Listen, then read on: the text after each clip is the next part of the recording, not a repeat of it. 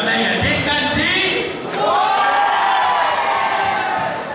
Thì xin chúc hết ban điều hành chúc con uh, chúc tết tất cả mọi người. Làm thế tiếp tiếp. Xin chúc